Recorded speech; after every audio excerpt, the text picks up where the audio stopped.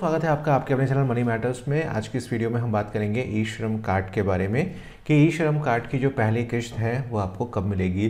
किस्त की जहाँ हम बात करेंगे तो पाँच पाँच सौ रुपये के चार किस्तें आपको मिलनी हैं। दिसंबर, जनवरी, फरवरी और मार्च में आपको चार किस्तें मिलनी हैं। लेकिन उससे पहले ये जान लीजिए कि क्या अगर आप जनवरी में ई श्रम कार्ड बनवाते हैं, तब आपको ये किस्तें मिलेंगी या नहीं मिलेंगी? देखिए, अभी तक गवर्नमेंट ने ये चीज़ साफ़ नहीं करी है कि जो लोग जनवरी में कार्ड बनवाएँगे या फरवरी में कार्ड बनवाएँगे, उनको दो हज़ार रुपये मिलेंगे या नहीं मिलेंगे। लेकिन फ़िलहाल ये है कि 31 दिसंबर 2021 तक अगर आपका लेबर कार्ड बना हुआ है या आपका ई श्रम कार्ड बना हुआ है, तब आपके अकाउंट में पाँच पाँच सौ रुपये की चार किश्तें डिलीवर की जाएँगी। अब यहाँ पर जो डिलीवरी है, वो महीने वाइज नहीं है। इस बात का ध्यान रखिएगा कि आपको दो महीने की किस्त यानी कि एक हज़ार रुपये की दो किस्तें आपको आएँगी, दो महीने का एक बार में आएगा।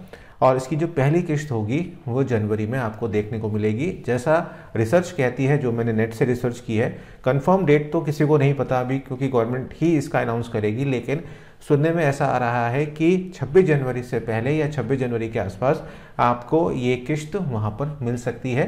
गणतंत्र दिवस के उपलक्ष्य में कुछ नए ऐलान भी आपको देखने को मिल सकते हैं। वहीं जो आपको दूसरी किस्त मिलेगी, यानी कि फरवरी और मार्च की जो आपको किस्त मिलेगी, वो आपको मार्च में मिलेगी होली से पहले। ये अभी तक कयास जो है लगाए जा रहे हैं। एक बात और यहाँ पर कहना चाहता हूँ कि अगर आप मुझसे बात करना चाहते हैं, मुझसे कॉल पे बात करना चाहते हैं तो आप इंस्टाग्राम पे मुझे फॉलो कर लीजिएगा, क्योंकि इंस्टाग्राम पर मैं काफ़ी एक्टिव रहता हूँ और आपके कई सारे जो मित्र हैं मेरे, वो मुझसे बात करते हैं। अगर उन्हें कुछ प्रॉब्लम्स आती हैं मतलब एसबीआई के अकाउंट खोलने में दिक्कत आई है। कई सारे लोगों ने मुझसे बहुत सारी बातें पूछी हैं तो वहाँ पर आप वन टू वन कॉल करके मुझसे बात कर सकते हैं। लिंक उसका डिस्क्रिप्शन बॉक्स में आपको मिल जाएगा। तो पहली बात निकल कर ये आती है कि आपको 26 जनवरी से पहले जहाँ तक पॉसिबिलिटी दिख रही है कि आपको ई श्रम का वो है जो आपकी अमाउंट आनी है, वो आपको मिल जाएगी। साथ साथ एक क्वेश्चन इसमें बड़ा विचित्र आया मेरे सामने कि हमारा लेबर कार्ड भी बना हुआ है और हमारा ई श्रम कार्ड भी बन गया है तो क्या हमारे पैसे दोनों में आएँगे? नहीं, आपके पैसे सिर्फ़ एक ही में आएँगे, या तो ई श्रम कार्ड के थ्रू आएँगे पैसे, या आपके लेबर कार्ड के थ्रू आएँगे। अब एक सवाल यहाँ पर और आता है कि क्या 2000 के बाद हमें 2000 हमारे जब पूरे हो जाएँगे तो और हमें पैसे मिलेंगे? अगेन इसके बारे में अभी कोई अपडेट नहीं है, लेकिन पिछले साल जब लॉकडाउन लगा था, या उससे पहले जो लॉकडाउन लगा था, उस लॉकडाउन में जनधन अकाउंट में भी पैसे आए थे। साथ साथ जो लेबर कार्ड था उसमें भी पाँच पाँच सौ रुपये की तीन किस्तें भेजी गई थी। तो आप ये उम्मीद लगा सकते हैं कि अगर बहुत बड़ी कोई आपदा आती है या लॉकडाउन की स्थिति दोबारा से बनती है, भगवान ना करे कि ऐसी स्थिति बने, क्योंकि बहुत मुश्किल हो जाता है श्रमिकों के लिए और सभी के लिए होता है हम जैसों के लिए भी दिक्कत होती है। तो उस केस में हो सकता है कि कुछ ऐलान हो या फिर जो ऐलान होगा, वो 15 अगस्त को लाल किले से हो सकता है ई श्रम कार्ड वालों के लिए। लेकिन फ़िलहाल यही है कि जो जो किस्तें हैं, वो जनवरी में 26 तारीख से पहले आने की उम्मीद आप रख सकते हैं। साथ साथ मार्च में आप होली के आसपास या होली से पहले आप ये उम्मीद रख सकते हैं।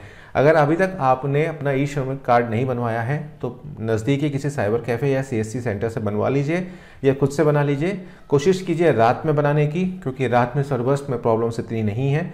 ध्यान रखिएगा कि ये बहुत बड़ा मिथ है कि इकतीस तारीख के बाद नहीं बनेंगे। बनेंगे ज़रूर, लेकिन जो पैसे की सिचुएशन है, उसके बारे में कयास यही है कि या तो आपको एक इंस्टॉलमेंट मिलेगी या कोई भी इंस्टॉलमेंट वहाँ पर नहीं मिलेगी। लेकिन अड़तीस करोड़ लोगों के ई श्रम कार्ड बनने हैं। ये बिल्कुल बात गलत है कि इकतीस तारीख के बाद नहीं बनेगी। इकतीस तारीख के बाद बनेंगे ई श्रम कार्ड, लेकिन जो इंस्टॉलमेंट है, वो शायद आपको ना मिले। लेकिन इस साल के इंस्टॉलमेंट ना मिले, हो सकता है नेक्स्ट ईयर की आपको मिल जाए। तो ई श्रम कार्ड अपना बनवा लीजिए साथ साथ उसके अंदर जो बेनिफिट्स हैं, उन बेनिफिट्स को पूरा लीजिए, क्योंकि आने वाले दिनों में ई श्रम कार्ड एक एक्सटेंड रूप में हो जाएगा, उसका विस्तार हो जाएगा, और आप बहुत आसानी के साथ उसमें जितनी भी सुविधाएँ हैं, उसका फ़ायदा आप उठा पाएँगे।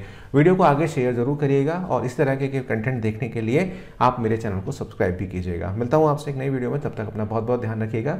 जय हिंद, जय भारत।